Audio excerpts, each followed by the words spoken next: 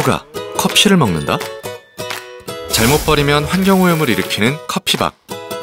맥도날드에서는 사료로 재탄생되죠. 사료를 먹은 소는 우유를 만들고 그 우유는 다시 맥도날드의 신선한 유제품이 되고 이런 선순환 공급 시스템 맥도날드는 좋아서 합니다. 세상에 좋은 일이 맥도날드에게도 좋은 일이니까. 배럴월드, 배럴 맥도날드.